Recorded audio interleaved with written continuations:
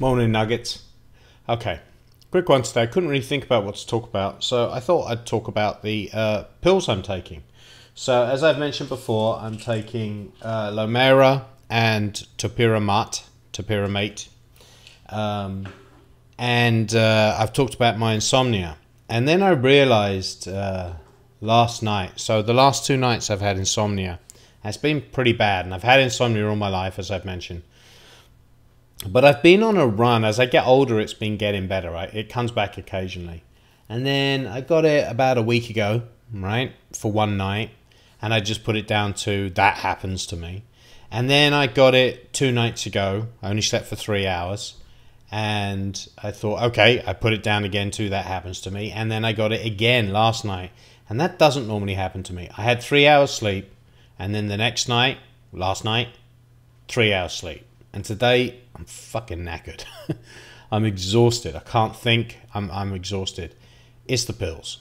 It's it's the pills. I can feel it because the other thing that's happening at night is that I'm um, I'm itching and I'm tingling and it's it's I can't describe. It's not really itching. I'm not like I'm scratching like crazy. It's like a it's like prickling.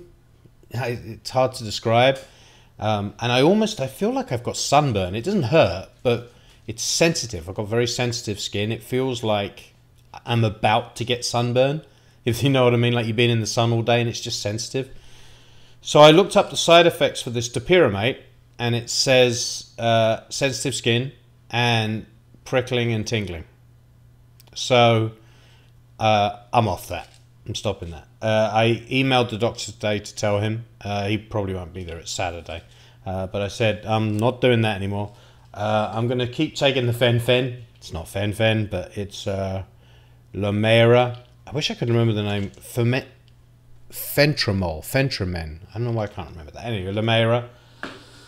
Um, the other thing is, I don't know. On reflection, I don't know how well it's working because I take this this topiramate at night, and I've been pushing it back because of uh, uh, you know feeling I don't want to feel too hyped up. So I was taking it at ten o'clock at night, and then I'm like, okay, that's going to keep me up. So I took it at nine o'clock, and then I took it at eight o'clock, and then took it at seven o'clock. And basically, what happens is that by the time I get it, I'm now at seven, or I was at seven o'clock.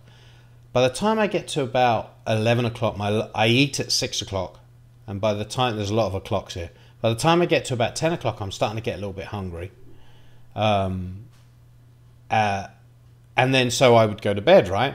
But I'm I can't sleep, so I'm up till three in the morning, and at three in the morning I haven't eaten for nine hours, and I'm awake and my stomach's growling and I'm ravenous and I'm really hungry and I can't sleep not only because I have the insomnia but also because now I'm really hungry. So the whole thing's a clusterfuck. It's a mess, right?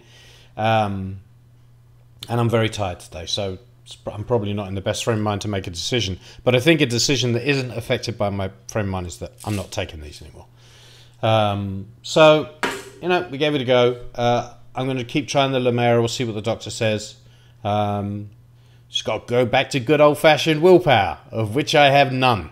Um, but I still believe the uh, hopefully my sleep pattern can get back on and I can be asleep before midnight or at midnight, you know, somewhere a reasonable hour.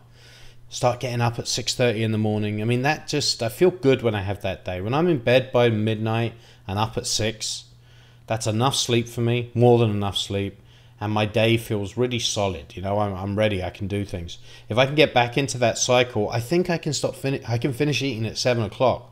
You know, people can go five hours without eating. I'm not going to die.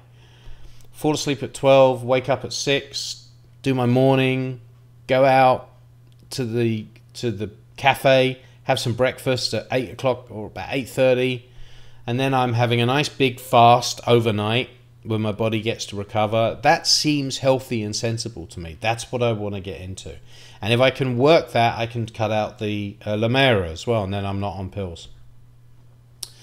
So, and I did weigh myself this morning. Uh, I've lost another half pound. I think again those scales are who knows, but. Um, uh, but it's all for shit the way I feel today, anyway. So I don't know. Um, so that's my check-in for the day. Um, hopefully, I'll feel a little bit better later in the day. I can make a video. I have some thoughts in my head, just nothing is very clear right now. And um, that's just about it. All right, you little nuggets. You have a lovely day.